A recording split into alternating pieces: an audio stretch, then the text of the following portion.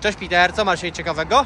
Range Rover e, w wersji 5-litrowej, Aha. około 8, trysk bezpośredni, 380 koni, 2010 rok. E, instalacja Sky Direct Mhm. do wtrysku bezpośredniego. Tryskiwacze pokażesz? Będzie widać tam Będzie widać tryskiwacze gazowe. Tutaj mamy reduktory z filtrami. Mhm.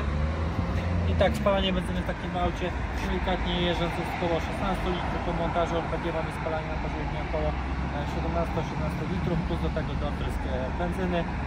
Jest on tam około 10% czyli na każdym 1000 km oszczędzimy około 500 zł czyli po 100 tysiącach mamy blisko 50 tysięcy złotych zaoszczędzone przejdźmy do wnętrza.